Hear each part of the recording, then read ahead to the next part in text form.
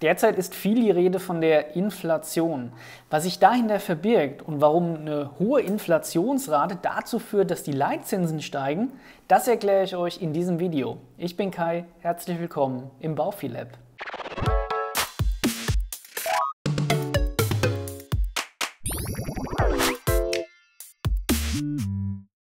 Was ihr vermutlich schon wisst, mit einer steigenden Inflation wird euer Geld weniger wert. Also anders ausgedrückt, eine steigende Inflation bedeutet auch die Preise steigen. Es wird also alles teurer. Aber wie misst man denn jetzt so eine Inflation? Und das ist im Prinzip ganz einfach. Ihr könnt euch das so vorstellen, dass man dazu einen Preisindex ermittelt, indem man einen gedanklichen Warenkorb mit ausgewählten Produkten und Gütern füllt. Und dann wird geguckt, was kostet dieser Warenkorb. Und das wird dann damit verglichen, was dieser gleiche Warenkorb letztes Jahr gekostet hätte. Und dann wird geguckt, wie viel teurer ist das Ganze geworden und das ist die sogenannte Inflationsrate. Natürlich kann es auch sein, dass der Warenkorb heute günstiger ist als letztes Jahr, dann hätten wir keine Inflation, dann hätten wir eine sogenannte Deflation. So, aber was hat jetzt eine hohe Inflation mit steigenden Zinsen zu tun? Und um die Frage uns zu beantworten, müssen wir uns erstmal überlegen, wie es denn überhaupt zu einer Inflation kommt. Und ein Grund für eine hohe Inflation ist, dass zu viel Geld im Umlauf ist. Und je mehr Geld im Umlauf ist, desto weniger ist das Geld wert. Das erinnert mich jetzt gerade just in dem Augenblick auch an den neuen Batman-Film. Ich weiß nicht, wer von euch schon im Kino war. Super Film auf jeden Fall. Und äh, Gegenspieler von Batman ist ja da der Riddler. Und ein Rätsel war gewesen, also von Riddler an Batman. Ähm, ich glaube, es hieß, je mehr, du, je mehr man davon hat, desto weniger ist der einzelne wert. Und die Antwort darauf war der Freund. Je mehr Freunde man hat, desto weniger ist der einzelne Freund wert.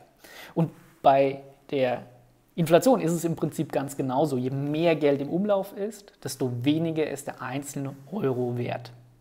So, und jetzt haben wir natürlich, oder die Zentralbank bei uns, die hat die Aufgabe, unsere Währung stabil zu halten.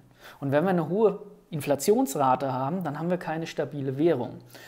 Also ist die Zentralbank gezwungen zu agieren. Und da gibt es ein ganz direktes Instrument, um gegen eine hohe Inflation zu steuern.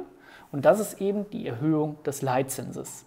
Und der Gedanke dabei ist, dass durch die steigenden Zinsen auch die Kredite teurer werden und somit natürlich die Menschen und Unternehmen weniger gewillt sind, Kredite aufzunehmen, weil ein Kredit bedeutet ja, ich nehme Geld auf, um dieses dann wiederum in den Umlauf zu bringen und das würde dadurch ausgebremst werden.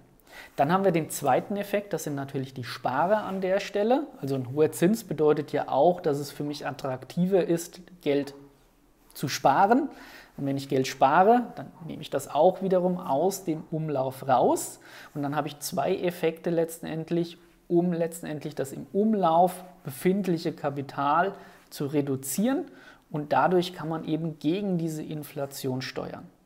Warum ist das so? Auch ganz klar, weniger Geld im Umlauf bedeutet, die Nachfrage sinkt.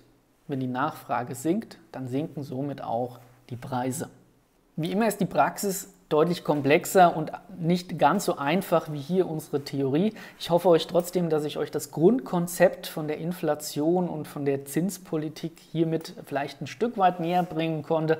Und äh, worüber ich mich natürlich auch sehr freue, ist über ein Abo auf meinem Kanal. Damit unterstützt ihr mich und natürlich auch meinen Kanal garantiert. Also damit auch, dass es weiterhin zukünftig tolle Videos zum Thema Baufinanzierung und Zinsentwicklung geben wird. Ich freue mich auf jeden Fall aufs nächste Mal. Bis dahin, macht's gut.